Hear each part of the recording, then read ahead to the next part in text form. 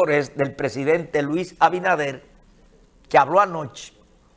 Bueno, y el anuncio se está pasando aquí porque que había un juego de serie final y un pueblo tan deportivo que todo el mundo sabe y más eh, trancado la gente por el toque de queda, disfruta más la pelota.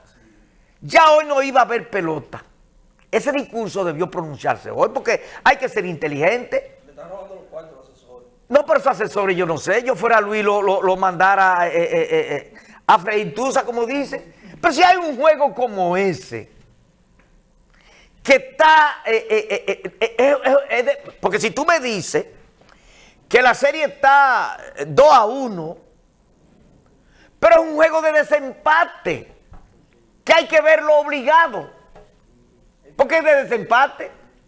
Y en principio, en principio de juego, Jorge Luis, daba la impresión que el juego podía ser un poco reñido.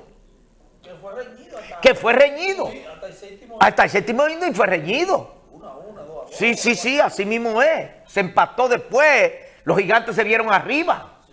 Los gigantes se vieron arriba. Entonces creo que fue un error, porque por eso es que hay que tener, ver más allá de la curva, para ver cuándo.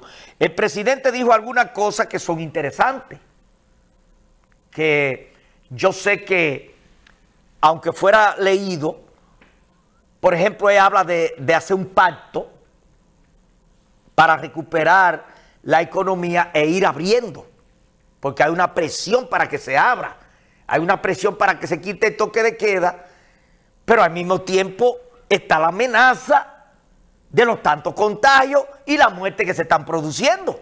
Es una situación difícil la que tiene el país y por qué no el mundo. Lo de Nueva York una cosa aterrador, lo de California y otros países que están pasando, aparte de Estados Unidos, que es el, líder en eso, eh, eh, en, contagiados, igual que Brasil, México. Son verdaderas masacres. Entonces, ciertamente, si se va a producir un descenso, como decía el presidente, que la letalidad de aquí no es de la más alta, y es verdad, es verdad, eh, y que se pueda ir abriendo poco a poco la economía, y él reconoció que el sector de los servicios, especialmente los restaurantes, el turismo, los bares, han sido grandemente golpeados. Miren, yo hablé ayer con un amigo mío que tiene un pequeño negocio de venta de frutas, eh, Vende de todo en una esquina de aquí, de este pueblo. Y me decía casi llorando que él está vendiendo. Muchacho muy bueno, seguidor de este programa.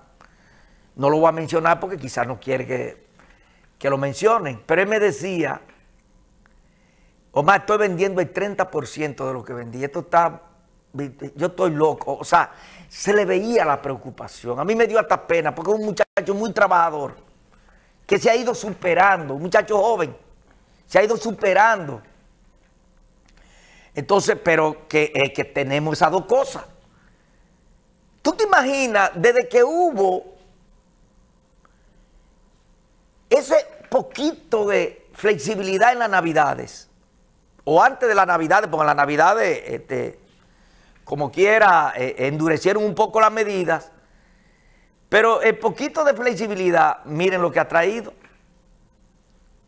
Y hay temor ahora, oigan esto, José Luis, de que ahora con motivo de pasado mañana, día de la Altagracia y día de Duarte, que son días de fiesta, que se dé. Entonces, el presidente habló de que la economía se ha ido recuperando. Algunas cosas la gente no está de acuerdo, otras sí. Eh, pero la verdad es que hay una situación sumamente difícil, la gente está angustiada con este confinamiento ya de 11 meses, prácticamente 11 meses, y, la gente la gente está un poco preocupada. Buenas tardes, José Delio. Omar, sí. te estoy llamando yo vi, escuché el comentario tuyo y yo te mandé ayer foto de, de la basura acumulada. Ajá. Hoy mandaron un camión, hoy mandaron un camión para acá, un verde con mamey. Pero oye, ¿cuál es la situación? Tú, tú tienes muchísima basura acumulada, porque tienes como un mes. ¿Qué pasa? Que si tú no le das dinero, no le pagas, no te quieres recoger la basura, aquí me la dejaron toda en el frente, porque yo estaba la mujer mía sola, yo no estaba aquí, estaba peleando con unos papeles. Entonces, cuando llegué, ella me dijo, ¿y qué pasó? El camión estuvo aquí, me llevó un saco, dije, porque yo no tenía dinero para darle a ellos. Entonces, eso no es ¿Cómo posible. que cobran? Pues yo no sabía eso. Sí, sí, sí. Para acá hay un camioncito chiquito que ellos mandan, que eso no cobra. Eso si tú le regalas algo, ok. Pero para acá, cuando no pueden mandar el chiquito que viene siempre para acá, mandan uno, no sé si hay alquilado o cómo, y eso hay que pagar obligado, si no no te lleva la basura. Entonces eso no puede ser. No eso no puede ser porque el pueblo le paga, el ayuntamiento le paga 5 millones y pico de pesos a Móvil Solidario para recoger la basura. Entonces los que mandan a trabajar en los camiones para acá, hay que pagarle dinero obligado. Entonces eso hay que resolverlo como quiera. Así que no- No, eso, es- eso es verdad. No, no, pueden, no pueden cobrar. Si No es que tú pueden- le regalas algo, no importa, pero no, no que ellos cobren, porque no nadie tiene que pagar una cuota No, por eso. no, es que eso, es que eso es indebido. Eso no puede ser. Ay, Pues y, y- y si lo acostumbran a pagarle para que recojan la basura en un sitio, entonces se crea un mal precedente que después, si no le pagan, no la recogen. Entonces eso no puede ser. Eso no puede ser. ah, en el tiempo atrás vino el mismo camión, Omar, y yo tuve que darle 150 pesos para que me pudieran llevarme un- un- una, una basura que había acumulada, como 7, 8 sacos acumulados. Y el tipo regado me, me insultó y me insultó. Yo hasta llamé a 10 y presidente de la capitular. Para, hoy lo llamé a él también y yo quiero averiguar, porque eso no puede ocurrir. Entonces, si que va a tener que poner los pantalones como Bisolizón obligatoriamente. Bueno, eh, eso, eso, eso. eso Omar, muchas gracias. Gra- siempre tuyo, siempre tuyo. Atención, presten atención a ese sitio, en la Yagüiza ahí de José Delio. Buenas noches. Aló. Sí, buenas. Buenas noches, Omar. Buenas noches, un placer. Te habla el comunicador El Bravo de este lado. Ay, bravo, adelante, bravo. El bravo, Eh, para sí. mí es un placer saludarte. El, el placer es mío, bravo. Usted sabe que somos amigos de- desde aquella época suya.